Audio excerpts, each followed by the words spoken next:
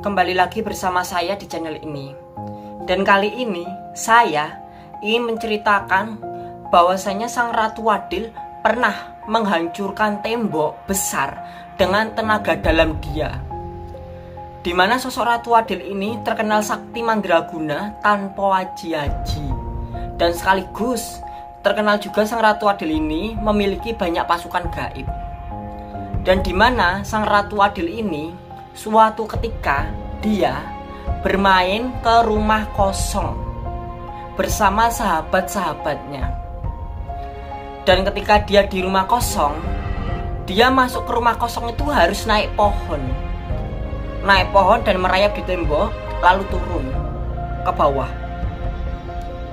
Karena apa? Di tembok itu tidak ada pintu masuknya, jadi harus masuk melalui uh, tembok, harus masuk dengan cara menaiki tembok. Lalu sang ratu Adil ini dapat bersama sahabat-sahabatnya itu dia bisa masuk ke dalam rumah kosong itu bisa. Lalu sang ratu Adil ini menelusuri rumah kosong itu bersama sahabat-sahabatnya. Di mana kala itu ada empat orang sahabatnya. Ada empat orang sahabat yang diajak dia. Yang pertama sahabat itu bernama Dani Arya Riansah. Yang kedua sahabatnya bernama Faturi. Yang ketiga sahabatnya bernama Ilham. Yang keempat sahabatnya bernama Adib.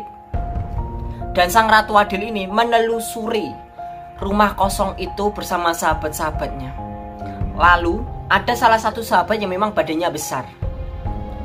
Dan sang Ratu Adil menelusuri menelusuri rumah kosong itu bersama keempat sahabatnya itu. Dan sang Ratu Adil ingin membuktikan kepada sahabat-sahabatnya bahwasanya makhluk-makhluk gaib itu benar-benar ada adanya. Tuh jadi benar-benar ada gitu loh. Dan suatu ketika juga di malam itu Sang Ratu Adil melihat ada segerombolan genderuwo-genderuwo yang masih muda di belakang gerbang pintu yang kosong Lalu, Ratu Adil mengajak sahabat-sahabatnya mendekat. Dan sahabat-sahabatnya ketika mendekat itu, dia mencium aroma kentang kerebus atau kentang direbus, digodok. Jadi aroma-aromanya itu aroma aroma kentang direbus. Dan sang Ratu Adil menerangkan bahwasanya di depan sahabatnya itu terdapat genderuwo-genderuwo yang masih muda. Lalu sahabatnya ada yang berkata, Hah masa sih ada yang setengah ragu-ragu. Lalu, Ratu Adil menyuruh sahabat-sahabatnya mundur.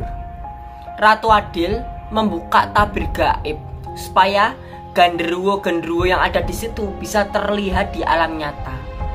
Akhirnya, sang Ratu Adil membuka tabir gaib itu. Dan teman-teman sang Ratu Adil, sahabat-sahabatnya itu bisa melihat genderuwo-genderuwo itu. Dan ternyata saat mereka melihatnya, mereka semua terkejut dan kaget dengan sosok genderuwo-genderuwo itu. Akhirnya mereka percaya kepada Sang Ratu Wadil bahwasanya makhluk-makhluk gaib itu itu benar-benar ada adanya.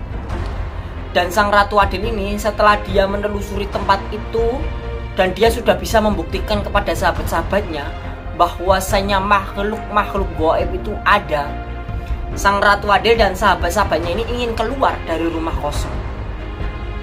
Yang menjadi gendalanya saat dia keluar, tidak ada pohon yang bisa dipakai untuk panjatan. Lucunya itu, nggak ada pohon yang bisa untuk panjatan keluar. Akhirnya, Ratu Adil bersama sahabat-sahabatnya ini terperangkap di dalam rumah kosong itu di mana rumah kosong itu temboknya besar-besar. Dan sahabat-sahabat Ratu Adil ini mulai gelisah karena mereka terperangkap di dalam rumah kosong itu. Akhirnya, mau atau tidak mau, Sang Ratu Adil ke Vevet. Sang Ratu Adil sedang ke Vevet. Oke, okay? Ratu Adil ke Vevet, oke? Okay? Ratu Adil kepepet dan Ratu Adil mengeluarkan tenaga dalam dia. teman-temannya disuruh pada mundur sahabat-sahabatnya itu. Ratu Adil keluarkan tenaga dalam dia. Ratu Adil hancurkan tembok besar yang ada di depannya. Dia hancurkan dengan tenaga dalam itu. Dan lalu teman-temannya juga terhiran-hiran dengan Ratu Adil ini. Dia bisa menghancurkan tembok besar dengan tenaga dalamnya. Di mana untuk manusia biasa itu mungkin nggak bisa ya.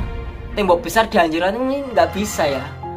Tapi Ratu Adil ini benar-benar dia memiliki kekuatan yang dahsyat. Lalu teman-temannya Ratu Adil ini begitu takjub melihat kemampuan Ratu Adil. Dan sang Ratu Adil pun mengajak teman-temannya atau sahabat-sahabatnya ini untuk keluar dari rumah kosong. Dan menurut kalian, pendapat kalian, pendapat kalian, apakah keputusan Ratu Adil untuk mengeluarkan tenaga dalam dan menghancurkan tembok besar itu di hadapan teman-temannya atau sahabat-sahabatnya, apakah itu sudah tepat atau belum? Berikan jawaban kalian di kolom komentar. Dan menurut kalian, bila mana sang Ratu Adil ini membuka tabir gaib genderuwo muda itu di hadapan sahabat-sahabatnya, apakah ini sudah merupakan pilihan yang tepat? Berikan pendapat kalian di kolom komentar. Dan jangan lupa untuk selalu tekan like dan subscribe video ini supaya video ini bisa maju dan berkembang pastinya buat kalian semua. Karena semua video ini disajikan untuk kamu semua. Dan jangan lupa untuk tekan notifikasi loncengnya supaya kalian mendapatkan video terbaru dari channel ini. Terima kasih sudah menonton sampai habis.